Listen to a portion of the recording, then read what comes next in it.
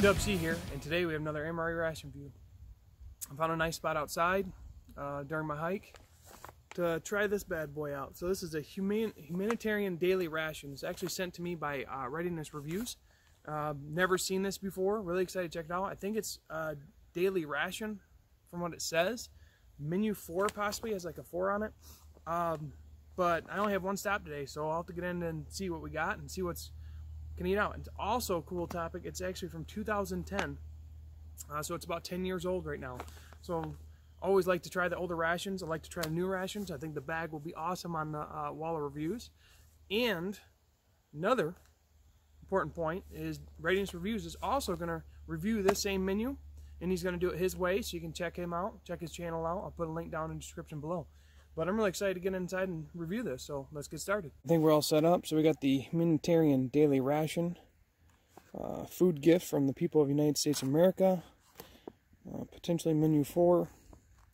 It's got the peelable seal. I'm try to...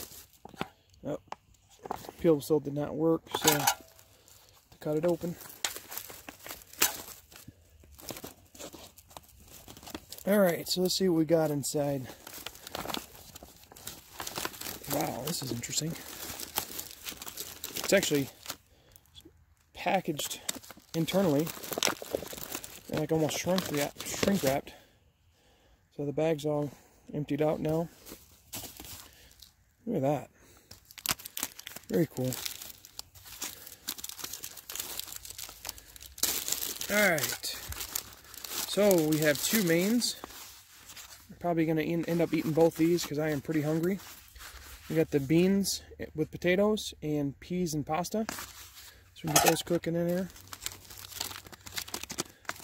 We have an oatmeal cookie. I love the packaging. This is like a silver packaging on here. Really cool. We got a pack of HDR crackers. Very awesome.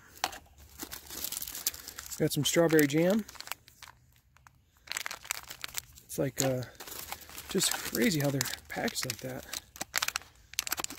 They have a fig bar. Looks like an accessory kit. We have some raisins. Some more crackers, but these ones have seen better days. It's almost the shape of a U. So I might cr crumble those up and put them in the main. We have a peanut butter and a, another strawberry jam. And then we have a uh, MRE spoon. And then it says uh, daily ration AmeriQual packaging. So maybe that's all. So a lot of good food here. Let's uh, get it start busting it open, start warming stuff up. I got my camp all set up. Got my burner over here, and uh, I don't I don't see any drinks, so I'll just drink water. That's cool. All right, for the accessory kit, so we got our mouse nap. Got some uh, ground red pepper.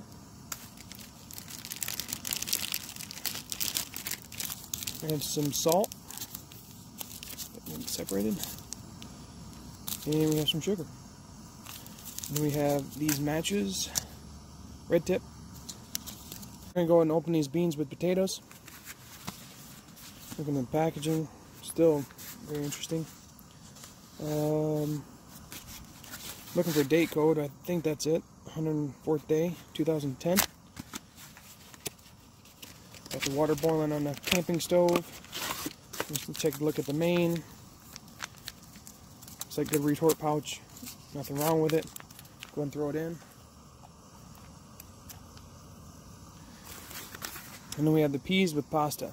Not sure if I'm to like that, but check it out. Always like to check the mains before uh, putting them in. This one's really dense. Real thick, so see how that warms up in there. As you can see, the uh, HDR did not come with any flameless ration heaters or um, like drink mixes or coffee, so there, it leaves those out. And typically, I mean, you could eat the mains cold, but I'm going to warm them up just to see. And then I got this cracker. This cracker is all smashed up, so I'm just going to use this to throw in the main. Smash it up just right in the packaging. That way you're not making a mess afterwards. Go ahead and start getting some stuff opened up. This is the fig bar. Smells okay. A little smashed up, but that's alright. Actually, look at the figs like smashed out of that one side. We've got some raisins. Also smell okay. Nice new package. Nice color to them.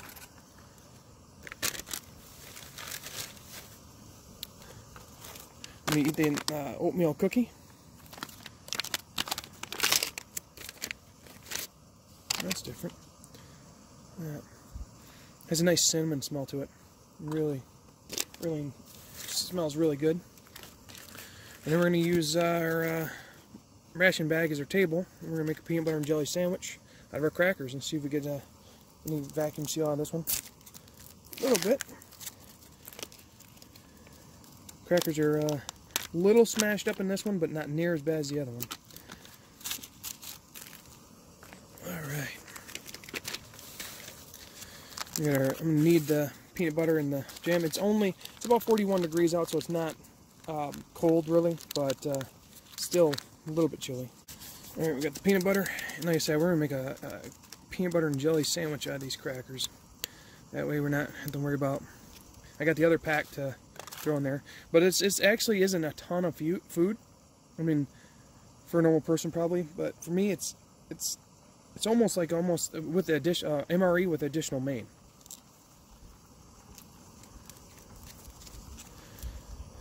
But I mean, if you're hungry, it's, it's definitely going to help out for sure. We got the one side, we're going to throw the peanut butter on. Peter's peanut butter smells fine. I said, this stuff is 10 years old, so I will use caution, but uh, Readiness Review said his seemed okay, so always still got to use caution. All right, got oh, all right, this is going to be interesting. Okay, it's all right. Hopefully we'll use the peanut butter to glue it all together. So I said I was making one sandwich, it looks like I'm making two. And strawberry jelly, a little bit dark, but that's no problem. Smells okay. I love strawberry jam. Take one side, smash it, pieces on the other side, boom two sandwiches. Mains warm up. We're going to go ahead and uh, try this peanut butter and jelly sandwich. This is the strawberry and peanut butter jam, or strawberry jam with the peanut butter on the crackers. So the strawberry jam, really good. Like you can tell, it's got a little bit of age on it. It's got a little bit more um, depth to the flavor. Um, the peanut butter is fine, very smooth. It's kind of salty. The crackers are very interesting. I I don't know if they're different per se than the original MRE crackers, but the flavor it feels a little bit different. And it, I'm not sure if it's because that they are a little burnt, not burnt, but like uh, you can see that actually you can taste that they've been cooked a little bit longer than normal, and it actually enhances the flavor quite a bit. So I should do that more often and cook them a little bit longer. All right, we're gonna take this uh, fig bar. Give this a shot. Fig bar is really good. It actually has good chunks of fig within the, the filling. So it's it's got like a really good bite to it and good crunch uh, throughout the whole thing. So it's really just your natural fig bar. Nothing wrong with it. Really good. Let's go ahead and try some of these raisins out. The raisins got like a kind of a, like some of the sticky coating on them. I'm not sure what that is, but see if they taste all right. Oh boy, I'd say raisins did not make it. There's something definitely wrong with those raisins. They straight up taste like um, like a wet, moldy basement. Uh, yeah, it was pretty interesting. Uh, definitely won't be eating those. I uh, I tried to get them down, but they they were not good. My body like almost straight out rejected them. So we'll just get those out of there and try this cookie. And the oatmeal cookie is really good. It is hard as a rock, uh, but as far as you know, actually taste, everything. I mean, I mean, look at this thing. It snaps. It's got a nice uh, hard exterior, but flavor's good. Nothing wrong with that. Looks like the mains are about done. So we'll actually uh, go ahead and try that. That uh, I think it's peas with pasta. That thing is still rock solid. I'm just gonna eat these in the pouch. I do have the crackers I'm gonna add in after I try the mains by themselves. For our first main, we have the uh, beans with potatoes. This uh, almost looks like a chili. But the potatoes are, I don't know if they're in there or they're just smashed up. Let's go ahead and give it a shot. This is actually really fantastic. The um, It's reminds me of baked beans with like heavy molasses. But then you throw in the potatoes and it has, you know, you change that flavor just a little bit from the baked beans to the sloppy joe. It's in between those. And very rich tomato flavor with, you know, the potatoes come through really come through really good and they're actually pretty crunchy when you get a potato. So that's that's pretty good. But yeah, this is really enjoyable uh, just uh, by itself, but I'm gonna add some crackers to it just to see if we can help it out. You can smash these crackers up just in the bag like this. And then once you get it over here, you actually just shake them into the main. Perfect. Give that a good stir and we'll give that a shot. I mean, I think this is might be MVP right here. I really enjoy this. Oh yeah, that was definitely awesome. I mean, just the, again, the natural flavors of the almost baked bean slash sloppy joe sauce with potato, and then you throw the crunch in there. That was top notch. I do have the ground red pepper, but I think I'm going to save that for the other main, so I don't know if I'm going to like that as well. And I can spice it up with that. That is ready now. So we can open that and see what it's all about. Again, it's not as dense now, but it's uh, pretty hefty. Okay, we're on to the other main, and uh, it said peas and pasta. I'm guessing these are chickpeas, but look at this, like slimy. So that's uh, I mean, it's probably the, the pasta doing that. Let's go ahead and give it a shot as is. I don't think this is going to beat the beans, but never know. Right, for the peas and pasta, I believe it's uh, chickpeas. The they're, the peas themselves are very hard to texture, and it's like not cooked at all. They're very, like I said, they're almost hard to each bite. That's kind of offsetting. I mean, I, I know they're trying to maybe give it a crunch or something, um, but the flavor is very bland. And then the peas, when you break into them, you bite into them, they only make it more bland. Uh, the pasta's slimy and, you know, it doesn't really have any good mouthfeel. So, like I said, it's not nearly as good as the beans uh, and potatoes. But let's go ahead and try uh, adding some crunch to it with the crackers. Add the ground red pepper and we'll give it a mix and give it another shot.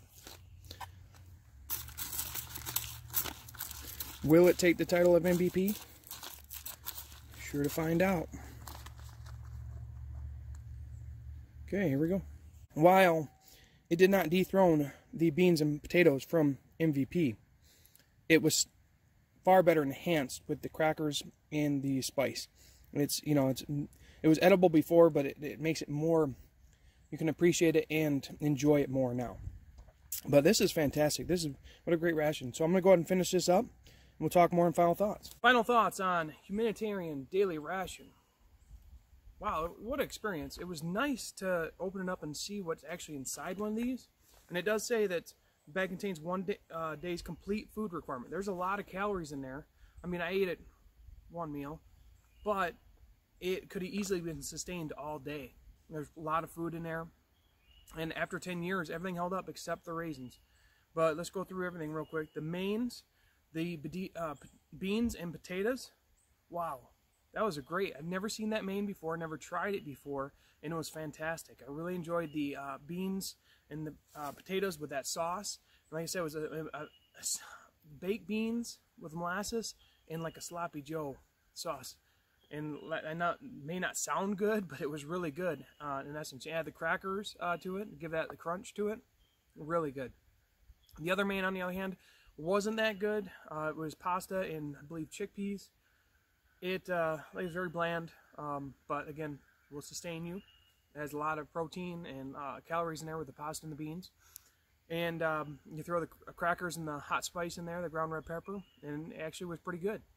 Uh, the raisins, uh, they, they, were they were something wrong with those. I did not eat those, uh, but like I said, after 10 years, what can you, you can't you hope everything's good, but you never know. Always got to be cautious. The um, oatmeal cookie was great. It was pretty hard, but tasted fine. Fig bars are great, and then I love uh, I always love a peanut butter and jelly strawberry jam with uh, the peanut butter and the crackers. Really enjoyable. But I know Readiness Reviews, he's going to re uh, release this video uh, within the same timeline as, on this week as mine. So definitely go check his out. And a special thanks to him. He actually sent this to me so I could check it out. I always love, like I said, I always enjoy checking out new rations like this. So go check out his video. And uh, that's all I got now. Thanks for watching. Have a great day.